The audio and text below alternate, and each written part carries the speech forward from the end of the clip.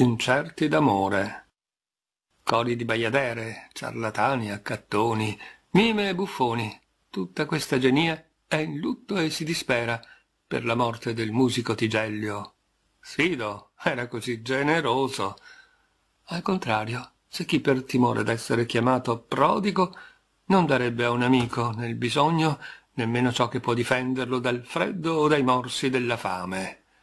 E se chiedessi a quest'altro perché, come uno sciagurato, dilapidi per insaziabile golosità il patrimonio del padre e del nonno, facendo debiti per comperare ogni sorta di leccornie, ti risponderebbe che non vuol essere considerato come uno spilorcio d'animo gretto.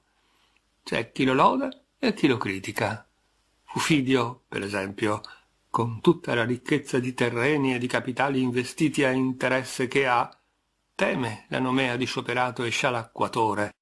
Così decurta i prestiti di un tasso cinque volte superiore al lecito, e quanto più uno ha l'acqua alla gola, tanto più accanito l'assilla, e dà la caccia persino a firme di giovinetti, che indossata da poco la toga virile sono ancora soggetti a un padre arcigno. Dio benedetto, esclamerà chi ascolta, almeno spenderà per sé in ragione del suo guadagno. Lui? Stenteresti a credere quanto poco bene si voglia. E certo il padre, che nella commedia di Terenzio si obbliga a vivere in miseria per avere scacciato suo figlio, non si tormenta più di lui. Se ora uno chiedesse a cosa mira questo? Ecco, gli stolti, per evitare un difetto, incorrono nel suo contrario. Maltino passeggia con la tunica a strascico, ma vecchi oscenamente la porta all'inguine. Con eleganza Ruffilio di profumi, Gargonio di caprone. Non c'è misura. Vecchi non vorrebbe toccare donna, se una balza cucita a fondo veste non le copre i talloni. E chi, al contrario, se non quella che si offre in un bordello puzzolente, mentre un tale, persona conosciuta, usciva da un bordello. Onorato a te, sentenziò in modo sublime Catone, quando cupa la lussuria gonfia le vene, è qui che devono calare i giovani e non fottere le mogli degli altri. Non vorrei per me questa lode, dice Cupiennio, che ha un debole per le baldracche vestite di bianco. Ma metto conto che ascoltiate, voi che non augurate successo agli adulteri, come incappino in guai per ogni verso, da che dolore sono avvelenati i loro spassi e come fra continui rischi e disagi raramente ne godano. Questo dovette a capofitto gettarsi dal tetto, quello fu flagellato a morte, questo fuggendo finì nelle grinfie dei banditi, quello in cambio della vita sborsò quattrini, quest'altro poi fu inculato dai servi, e a qualcuno infine è successo che per colpa della loro lascivia gli troncassero a rasoiate coglioni e cazzo. E tutti ben fatto, ma Galba protestava. Quanto è più sicura la merce di seconda scelta, le libertine, voglio dire. Per loro è vero, Sallustio fa follie non meno di chi insidia le signore.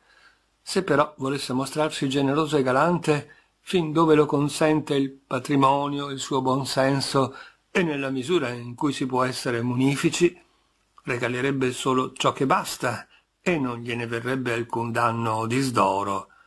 Solo di questo invece si compiace e di questo si vanta e loda. Io le matrone non le tocco, proprio come un tempo Marseo, sì, l'amante di origine, che regalò alla mima fondo e casa paterna per poi dire con le mogli degli altri io non avrò mai a che fare. Certo, ma con mime, con meretrici sì, e il tuo buon nome ne scapita più delle sostanze.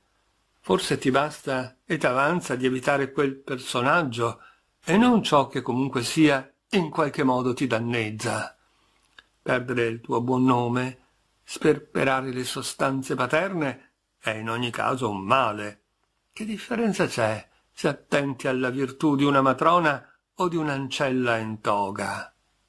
Viglio, poveretto, per via di Fausta, abbagliato dall'idea fissa di diventare genero di Silla, pagò e strappò il fio oltre misura. Tempestato di pugni e ferito a pugnalate, fu cacciato di casa, mentre dentro restava Longareno. Se in mezzo a tanti guai la coscienza, a nome del cazzo, gli avesse detto «Ma che vai cercando?» Sono forse io che ti chiedo, quando ribolle la mia rabbia, una baldracca generata da un console illustre e tutta avvolta in una stola? Sai che risponderebbe? Da un padre illustre è nata la ragazza. Ma quanto migliori e come fanno a pugni con questi i consigli che dà natura, che è così ricca di risorse, se solo tu volessi servirtene con giudizio senza confondere ciò che devi fuggire con ciò che è da cercare. Avere guai per colpa tua o della sorte? Credi che sia la stessa cosa? Quindi, per non avertene a pentire, smetti di dar la caccia alle matrone, è più da subirne calamità che da cavarne frutti. Non è detto che costei, fra un luccicare di perle e smeraldi, abbia più morbide le cosce, sebbene ciò sia campo tuo, Cerinto, o più dritte le gambe. Anzi, assai spesso le ha migliori la puttana in toga.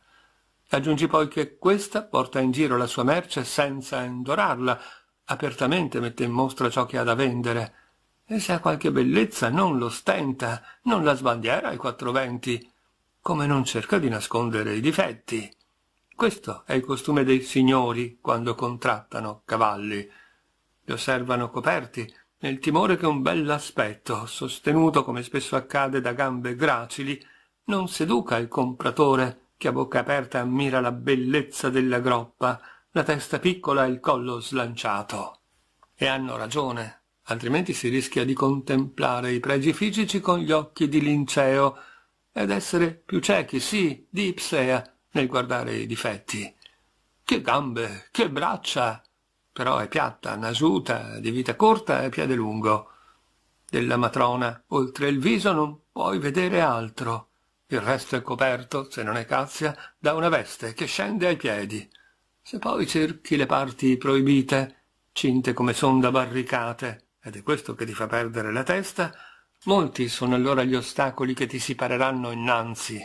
Guardie, lettiga, parrucchieri, dame di compagnia, la stola che arriva ai talloni e il mantello che indossa, un'infinità di cose che ti impediscono di vedere l'oggetto naturale.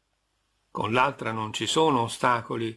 Nella veste di cola puoi vedere come fosse nuda, senza alcun rischio che abbia gambe storte o piede malfatto, e con l'occhio puoi misurarle ai fianchi. O forse preferisci che ti tendano insidie e ti strappino il prezzo prima di mostrare la merce. E quello con monotonia ripete che il cacciatore insegue, sì, la lepre nella neve alta, ma in tavola non vuol toccarla, e aggiunge Così è il mio amore, sorvola su ciò che è alla portata di tutti, e dà la caccia a ciò che fugge. E con questa musica credi di toglierti dal cuore le spine, le smanie e gli affanni? Non è forse meglio vedere che limiti pone la tua natura alle passioni, cosa se le viene negato sopporta, cosa le provoca pena, e separare l'apparenza dalla sostanza. Quando la sete ti brucia la gola, cerchi forse calici d'oro. Quando hai fame, provi forse disgusto per ogni cosa che non sia rombo o pavone. E quando ti si gonfia l'inguine, sai sotto mano un'ancella o uno schiavetto su cui sfogarti senza indugi. Preferisci forse scoppiare dalla voglia? Io no. Amo i piaceri facili e senza disagi. Più tardi ci vuole altro. Se esce mio marito... Questa Filodemo la lascia ai galli e per sé ne cerca una a buon prezzo, che non esiti a venire quando l'inviti. Deve essere piacente e snella, elegante, ma non al punto da voler sembrare più alta o più fresca di quanto ha concesso natura. Quando una donna simile si stende con me fianco a fianco, è per me Ilia, Egeria.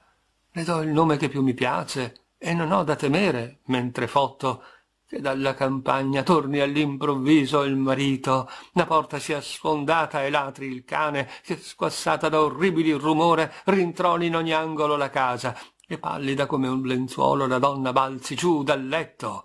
La complice gridi povera me, terrorizzata, questa per la sorte delle gambe, quella accolta in flagrante della dote. E io? io per me stesso.